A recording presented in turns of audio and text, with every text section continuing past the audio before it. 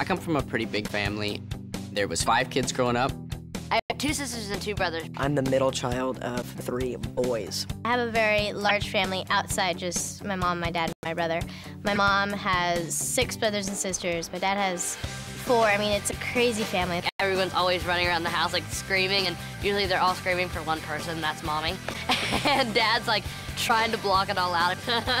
When you get a house with that many people together and people start to rub each other the wrong way.